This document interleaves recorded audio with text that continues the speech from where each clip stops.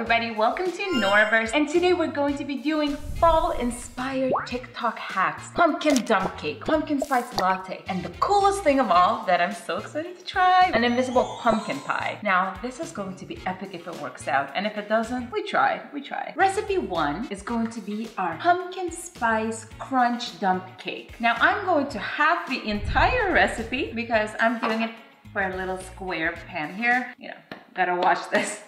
You're going to need some pumpkin puree, evaporated milk, two eggs, pumpkin pie spice, some salt, some pecans, any kind of cake mix. I'm using this one, and it's the only one that was not sold out. Some sugar, and that sounds like that's pretty much it. So first thing that they do in the TikTok is they open their pumpkin puree. You really need to get one automatic ones. You guys ever watch Futurama and remember where Bender got magnetically pulled to the can opener and he was so scared of them? That's what I think about the automatic can openers. Here's delicious pumpkin. Oh, smells like so legit right now. So we're going to need one full cup of pumpkin. Go like this and just put it in. I'm trying to be exact here even though I have the recipe. Put it in here. Woo! Yeah. Now, we're going to need one half and one quarter of evaporated milk.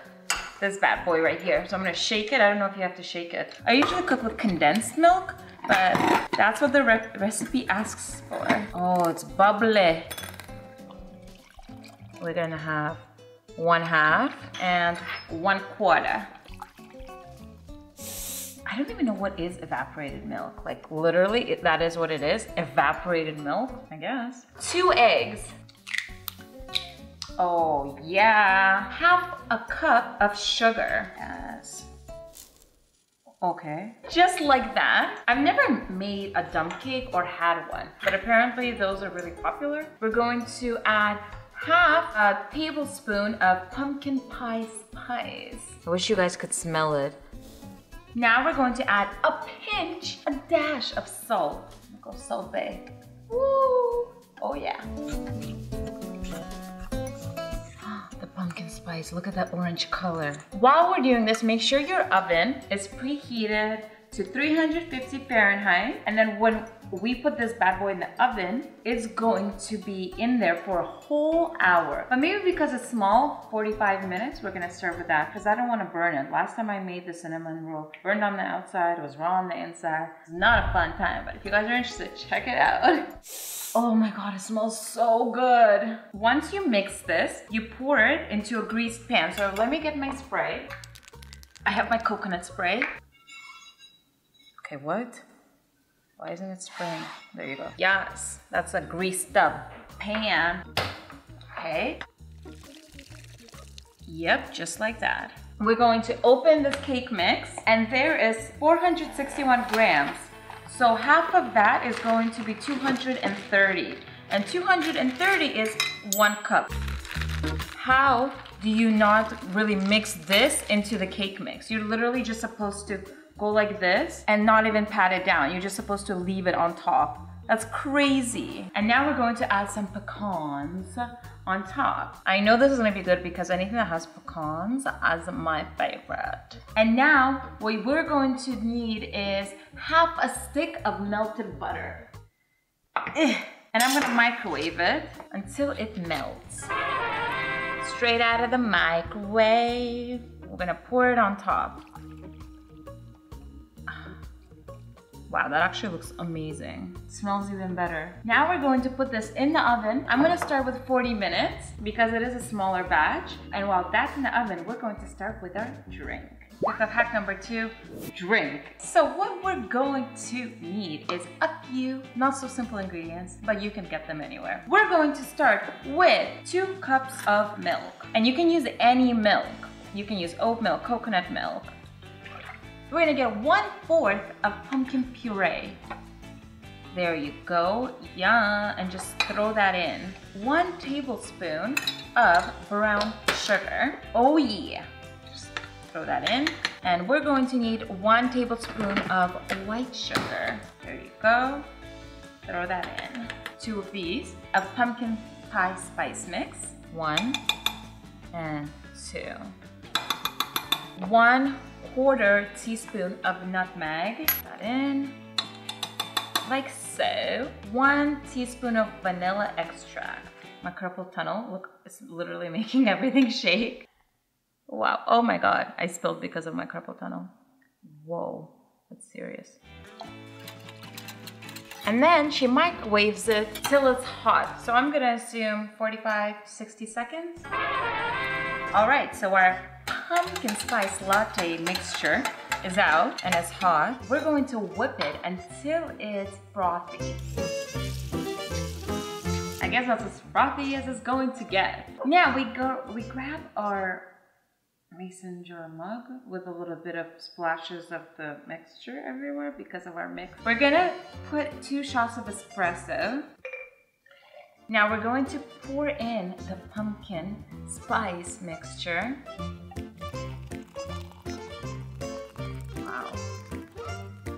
Looks amazing. Shake your whipped cream, fades fully down, and then you push.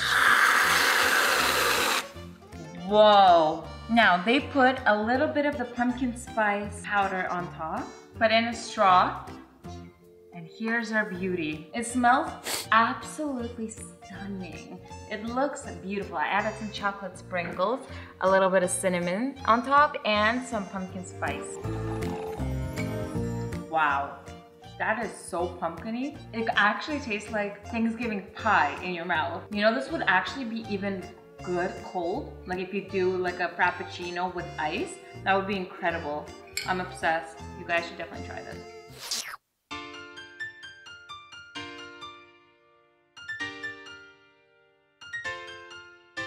So our dump cake is out of the oven. Look at that. Look at that. 40 minutes was perfect. Spoon it out. Oh wow. I don't know, hers was like juicier. It's supposed to be like this. I'm gonna try it. I'm scared though because it's really hot. This is my first time having dump cake. Wow, I'm obsessed. It's actually incredible. Better than the drink. It's so fluffy, it's like a souffle. Guys, you have to try it. I literally recommend it. And now I'm gonna get some vanilla ice cream on the side. Oh, it's gonna be perfect. This is a Thanksgiving pie right here. And the whole family can just spoon it out. So delicious. And we're back with our third and final recipe. We're making a clear, invisible, see-through pumpkin pie. So instead of, you know, making my own crust, we all know I can make one from my 8-in-1 pan desserts. I just got one of these bad boys. This is ready-made pie crust. And I'm just going to put it into my pie. So you go like this with your finger and you fold it into the edges. So it's not as attractive as I wanted it to be. I'm just gonna straighten out the edges. So then we grab a fork and we're gonna do little holes so it bakes through. So it's nice and no soggy bottom to look something like this. Nice, nice. We're gonna put this in the oven for 20 minutes. While that's in the oven, we're going to make our pumpkin filling. We have four cups of water, all in here, half a cup of sugar, three tablespoons of powdered gelatin, and we're going to need one tablespoon of pumpkin pie syrup. And we're gonna pour all that in there and boil it together. The gelatin first. Sugar Oh my god. I hate when that happens. The syrup. Oh yeah. Oh yeah. And we're going to just stir. Oh, it's already thick. Wow. So we're just gonna stir this for a while. I think until everything's mixed together real well. And then we're going to cool it in the fridge. There you go. And we're gonna let this set in the fridge until it's chill, gently hardened, not fully hardened. While that's chilling, guys, Look, our crust is out. It turned a little peculiar looking. I don't know why it's so crooked. We all saw me massage it perfectly evenly. It's more like a flaky pastry, not a pie crust. Maybe next time I'll make my own. So our pie crust is out. It's not the prettiest of things, but it's fine. We have gelatin, pumpkin spice. I've been waiting for two hours for this. So let's just pour it. Oh, wow. Wow, that's so cool. Look at that. Oh my god, that's beautiful. Wow, that actually tastes like pumpkin spice. Anyway, so this is going to go into the freezer for about 20 minutes. But they also said that we have to microwave this so we pour it on top so it's straight. Whoa. Woo! So this came out of the microwave. It's a nice liquid consistency. And now we're just gonna pour it to straighten everything out. Oh no, it's pouring under. Okay, now I'm gonna put this in the freezer for 20 minutes, okay? And we're back. We have our pumpkin gelée or our pumpkin spice pie. The invisible, amazing, luscious baby. Does this not remind you guys of a jellyfish? Have you guys ever seen a jellyfish out of the water when it's like on the beach? Like this, this is the head and this is like the side of it. Wow, the brains of a jellyfish. Anyway, let's cut it. Oh, no soggy bottom there. Okay, please don't break and work out. No. Whoa, incredible. Whoa. Smells like pumpkin spice. I can't believe we actually made this. Insane. There you go. Now that is a pumpkin pie. Should we try it? I hope I don't have any crumbs all over me, but this is crazy. Okay, I'm not gonna say it's the most amazing thing I've ever had because it's not. I mean, it's obviously like gelatin, but does it taste like pumpkin spice pie? Yes, it does. Does it look super cool and amazing? Heck to the yeah. I mean, look at that. What? Who would have thunk it? This is really the invisible pie. I mean, you can barely see it on camera. Look at that. Whoa. Oh! That's so cool. Now it's visible.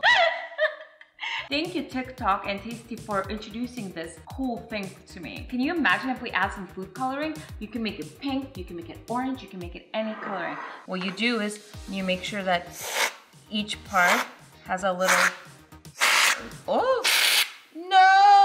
Anyway, I hope you guys were impressed, inspired, and hungry enough to try some of these. Let me know your thoughts. I hope you guys enjoyed this. Make sure you guys leave a like, subscribe, hit the notification bell, and I'll see you guys later. Bye!